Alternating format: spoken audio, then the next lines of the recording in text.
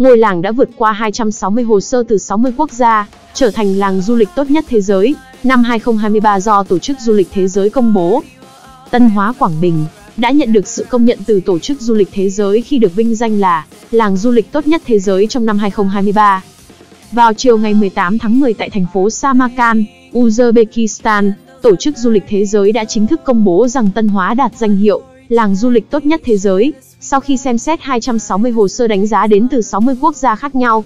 Tuy có 4 ngôi làng du lịch ở Việt Nam, nộp hồ sơ tham gia từ các tỉnh Quảng Bình, Sơn La, Lai Châu và Hòa Bình, nhưng Tân Hóa, với mô hình du lịch đáp ứng yếu tố thời tiết, độc đáo đã đón nhận danh hiệu này. Giải thưởng làng du lịch tốt nhất thế giới là một sáng kiến toàn cầu do Tổ chức Du lịch Thế giới thiết lập, với mục tiêu vinh danh những khu du lịch tạo điều kiện bảo tồn, phát triển giá trị, sản phẩm và lối sống dựa trên cộng đồng và vùng nông thôn. Đồng thời, giải thưởng cũng thúc đẩy việc đổi mới và bền vững trong lĩnh vực du lịch. Tính tới năm 2022, tổng cộng đã có hơn 70 ngôi làng, từ gần 40 quốc gia đã được Tổ chức Du lịch Thế giới công nhận với danh hiệu làng du lịch tốt nhất thế giới.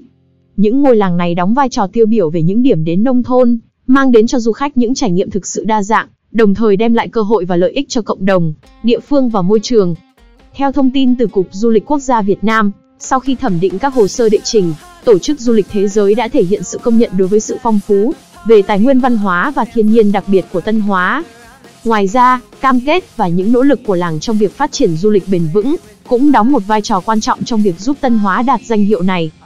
Vào cuối năm 2022, sau khi tiến hành tham quan và thực nghiệm thực tế tại Tân Hóa, đại diện của Tổng cục Du lịch Việt Nam nay là Cục Du lịch Quốc gia Việt Nam đã đề xuất cho Tân Hóa tham gia giải thưởng làng du lịch tốt nhất thế giới của Tổ chức Du lịch Thế giới. Nhận thấy đây là một cơ hội tốt để quảng bá hình ảnh của Tân Hóa và khu vực lân cận, Axley Search Venture đã hợp tác chặt chẽ với Ủy ban Nhân dân xã Tân Hóa, Ủy ban Nhân dân huyện Minh Hóa và Sở Du lịch tỉnh Quảng Bình để xây dựng một mô hình làng du lịch theo tiêu chuẩn của Tổ chức Du lịch Thế giới, với hy vọng được tham gia vào cuộc thi này.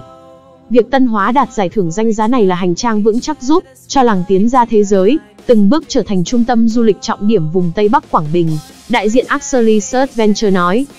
làng Tân Hóa được xem là vùng rốn lũ tại Quảng Bình. Năm 2010, người dân nơi đây đã chứng kiến một trận lụt lịch sử khi mực nước dâng cao lên, tới 12 mét, gần như cuốn trôi hầu hết các ngôi nhà. Cư dân của làng đã phải sơ tán lên các hang động vào vách núi, tìm kiếm sự trú ẩn để đối phó với mực nước dâng cao. Vào năm 2011, những người dân của Tân Hóa đã đề xuất ý tưởng làm những chiếc bè phao để sống chung với nước lũ. Đến năm 2012, họ đã cải tiến ý tưởng này thành mô hình nhà nổi, cho phép cư dân có thể tiến hành các hoạt động sinh hoạt hàng ngày trong bối cảnh lũ lụt. Cho đến năm 2023, Tân Hóa đã xây dựng tổng cộng 620 căn nhà nổi, và tất cả các công trình này được xây dựng hoàn toàn từ nguồn tài trợ của các nhà hảo tâm và các tình nguyện viên. Hiện tại, Tân Hóa đã mở rộng phạm vi phát triển và thực hiện mô hình trải nghiệm du lịch mùa lũ.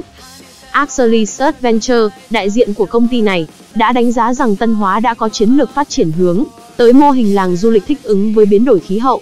Trong mô hình này, họ cung cấp cho du khách các trải nghiệm đa dạng bao gồm homestay, trải nghiệm công việc nông nghiệp, cơ hội thưởng thức các món ăn truyền thống tại nhà dân, và cả việc tham quan quầy hàng lưu niệm.